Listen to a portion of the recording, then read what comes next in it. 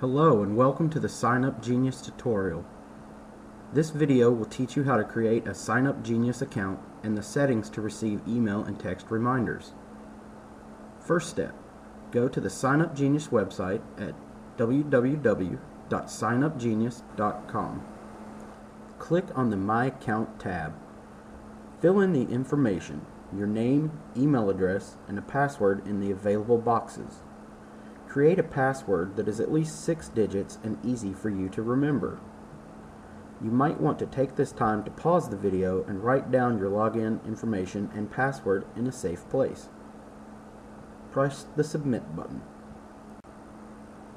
Look for the orange box labeled My Account on the right hand side. Click on My Profile. Check your email address on this page. It should be the one you check frequently. If you would like a text message reminder sent to your phone, fill in your cell phone number in the mobile phone space and select your carrier. Press the Submit button. Now we'll set up reminders. Mouse over to the right of the page and select My Email Options.